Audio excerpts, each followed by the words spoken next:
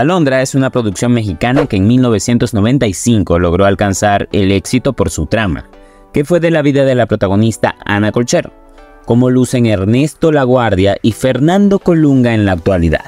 Quédate conmigo si quieres descubrirlo. Comencemos. 12. Beatriz Sheridan.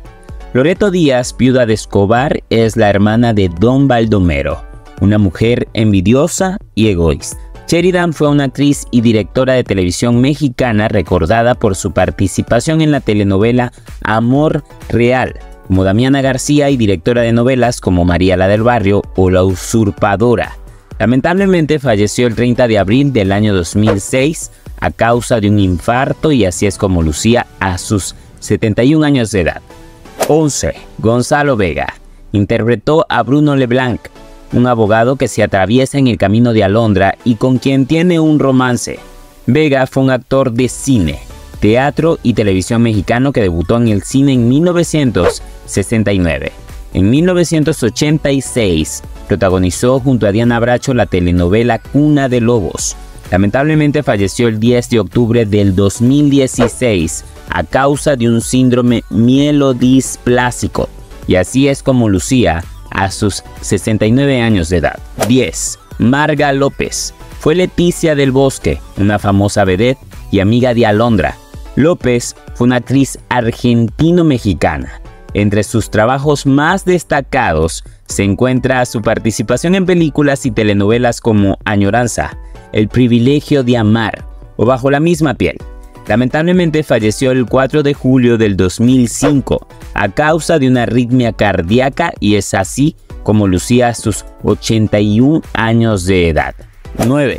Emoe de la Parra. En la telenovela fue Cristina Leblanc, la esposa de Bruno, una mujer que vivía engañada por su marido.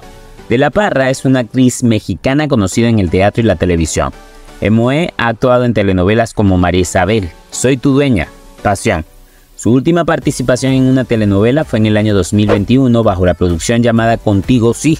Así es como luce a sus 72 años de edad.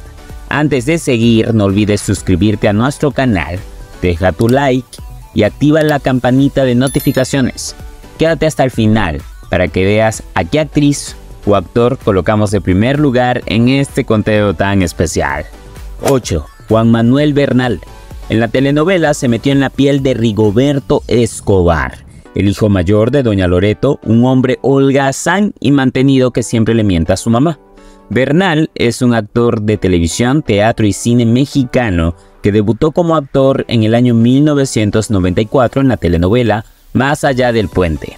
Sus últimos trabajos en telenovelas fue en el año 2015 en la producción Así en el barrio como en el cielo. Su última participación en películas fue bastante reciente, puesto que fue este mismo 2023, llamada Confesiones. Así es como luce a sus 55 años de edad. 7. Eric del Castillo. Su personaje en Alondra fue Baldomero Díaz, el papá de Alondra, un hombre bueno y trabajador que siente un profundo amor por Carmelina. Él es un actor mexicano, papá de la famosa actriz Kate del Castillo, que participó en producciones también como Niña Amada Mía, Mundo de Fieras, Soy tu dueña, Lo que la vida me robó. En 2020 se unió a las filas de Telemundo para la telenovela La Doña del 2016, donde interpretó al jefe Ricardo Vidal y compartió créditos con Araceli Arámbula, Carlos Ponce y por cuarta vez con David Cepeda. Su última producción fue en la novela Mi Secreto en el año 2022.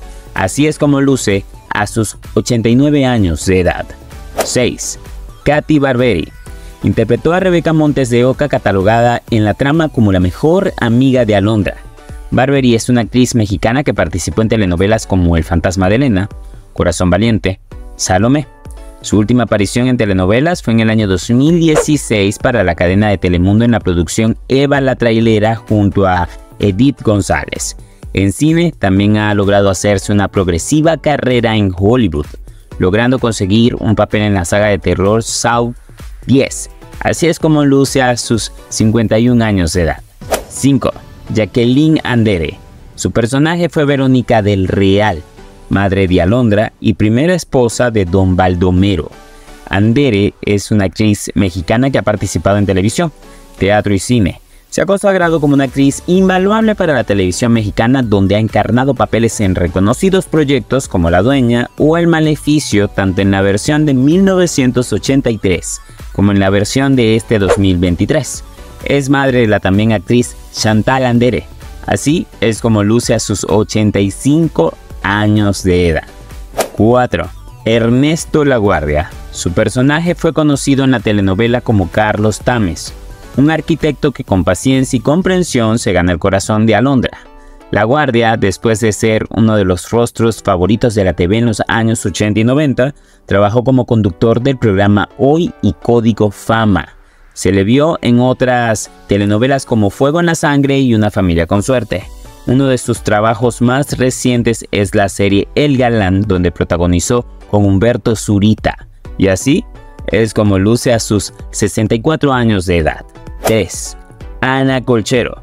Conocida en la telenovela como Alondra Díaz, hija de Baldomero y Doña Verónica, un personaje único, donde podemos ver la personalidad de una joven extrovertida e inteligente.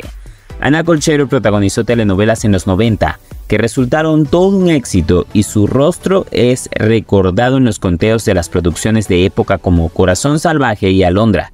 Esta telenovela representó su primer papel protagónico en la pantalla chica. Alondra se estrenó en 1995 y Ana Colchero tuvo como compañeros de reparto a Ernesto Laguardia, Fernando Colunga y el fallecido Gonzalo Vega. La actriz conquistó al público con su rol antagónico en Corazón Salvaje, la versión que contó con Edith González y Eduardo Palón.